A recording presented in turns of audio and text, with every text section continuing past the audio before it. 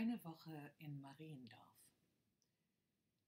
Winter führt Schwert und Feder über Grau und Blei, unterwirft jedes, bedeckt alles.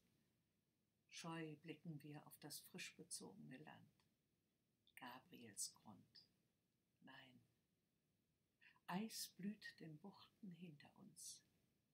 Wir kommen nicht weit, erliegen der Kälte. Zurück.